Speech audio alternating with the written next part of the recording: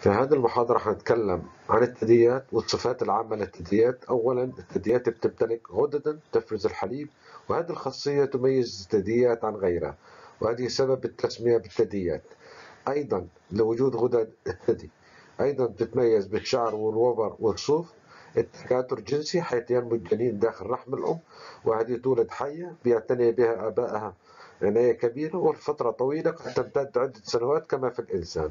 أيضا يوجد أربع حجرات في القلب وقوس جهازية واحدة هي اليسرى والأبهر أو الشريان الأورطي كما يوجد حجاب حاجز عضلي بيلعب دور هام في التنفس.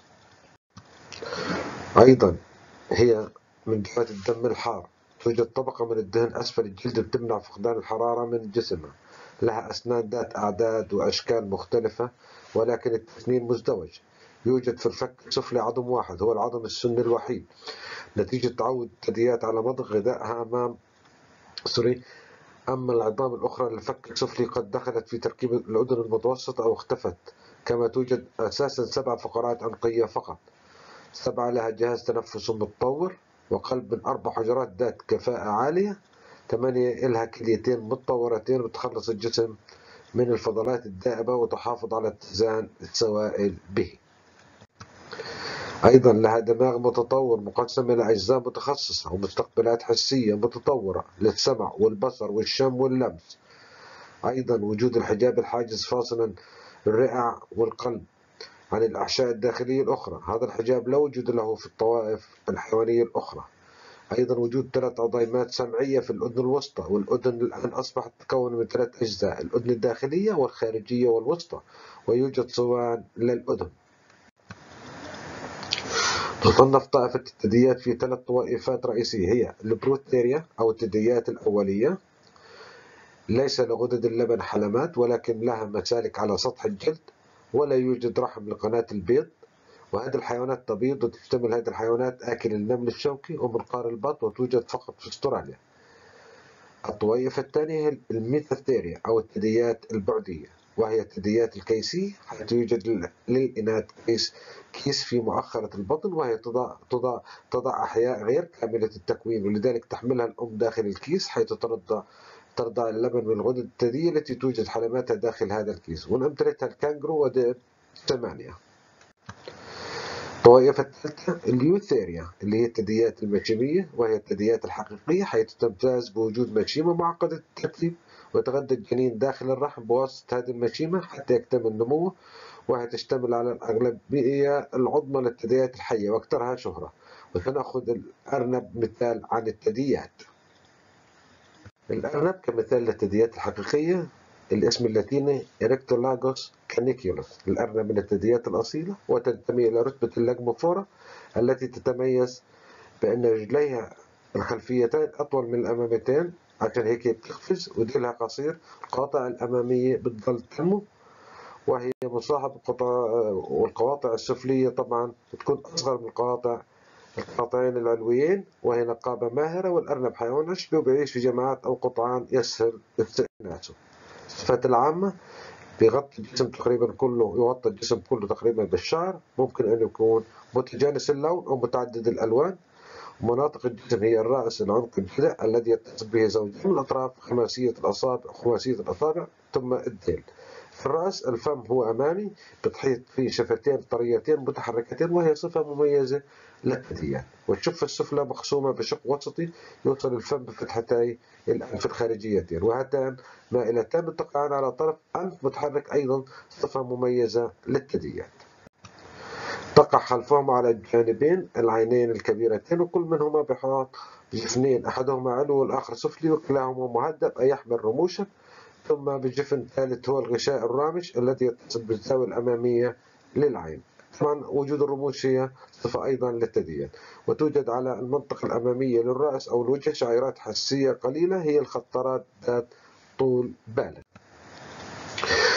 الجهاز الهيكلي اللي حنتكلم عنه خاصة اللي هو الهيكل الداخلي بيشتمل جهاز الكيل في الأرنب على قسمين. الهيكل الخارجي اللي بتكون من مشتقات الجلد كالمخالب والشعر إلى آخره والهيكل الداخلي بتركب من جزئين رئيسيين هما الهيكل المحوري والهيكل الطافي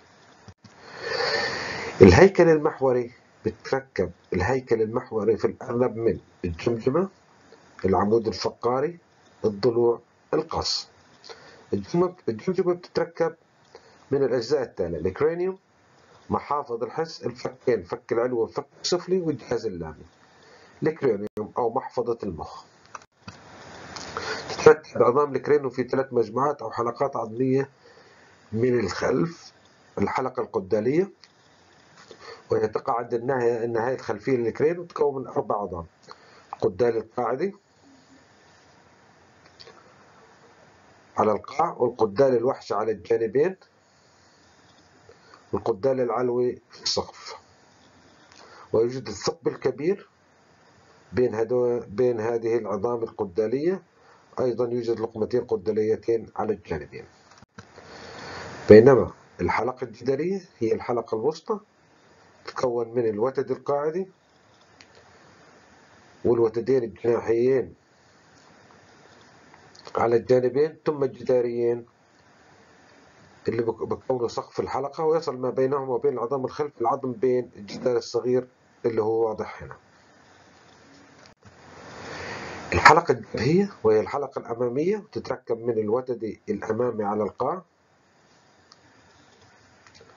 والوتديين الحجاجيين على الجانبين والجبهين اللي بيكونوا اللي هو سقف اللي هو الحلقة الجبهية بيحمل كل منهما نتوء فوق حجاجي.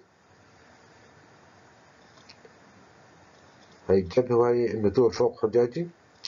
بيمتلئ الحيز الموجود بين القدال والوتد الجناح على كل جانب بالجزء الكرنيومي من العظم القشري. كما يمتد بين العظم القشري وعظم الفك على كل جانب قوس عظيمة تعرف بالقوس الوجنية بكون جزءها الأمامي الحافة السفلية للحجاج. وتقع بعض عضلات الفك القوية بين الجزء الخلفي من القوس الوجني والكريني مقدمة تجويف الكريني والعظم المصفون محافظ الحس المحفظة السمعتين. وهما غائرتين تماما في جدار الكرينيوم تركب كل منهما من عظم وحيد هو حوق الأذن ولجواره ولكن خارج الكرينيوم توجد القلة الطبلية. قارورية الشكل تحتوي على التجويف الطبلي وتكون رقبة هذه القلة صماغ الأذن الخارجي. أما العضيمات السمعية فتقع داخل التجويف الطبلي. المحفظة الشمية بتحيط بالممر التنفسي اللي بتكون سقف من عظمتين مفلطحتين هما العظمين الأنفيين. بيقسم المطفل المتوسط اللي المحفظة الشمية على نصفين والذي يكون نصفه الأمامي الحاجز يكون نصفه الأمامي الحاجزين الأنفيين. بيستقر المطفل المتوسط فوق عظام الميكا الذي يكون على شكل حرف في وبيكون الحنكين والفكين والفكين الأماميين قاع التجويف الأنفيين. المحفظتين البصريتين لا توجد عظام خاصة بهاتين المحفظتين كل عين مستقرة داخل تجويف حجاجي. بتسع بحده الحيد فوق الحجاجي للعظم الجبهي من الجهة الظهرية. من الجهة البطنية القوس الوجنية الفكين. يوجد فك علوي وفك سفلي. هو الفك العلوي من سلسلة من عظام ملتحمة مع الكرون ما هي؟ العظمين الجناحيين والعظمين الحنكيين في سقف الفم والفكين الأماميين. كل منهم يحمل نتوء أنفي ونتوء حنكي بينما الفكين اللي بينشأ منهم نتوء وجني ونتوء حنكي. بينما الفك السفلي بتكون من عظم واحد هيو هو العظم السني اللي بتكون من نصفين بيتحدوا أماما في الارتقاء الذقني وبينفرجوا إلى الخلف. بتكون كل فرع من جزء مستعرض بيحمل الأسنان وجزء صاعد رأسي بيحمل نتوء إكليلي. ولقمة للتمفصل ومع مع العظم القشر وفي نتوء زاوي كما هو واضح وهي القواطع والفرجة ما بين الضواحك والطواحين وهذا الجزء الأفقي من الفك السفلي أخيرا الجزء اللامي بينشأ من الأقواس الخيشومية الجنينية بيعمل على تدعيم اللسان وهو بيشتمل على عضو وسطي هو اللام القاعدي وزوج من القرون الممتدة للخلف هما اللاميين. الدرقيون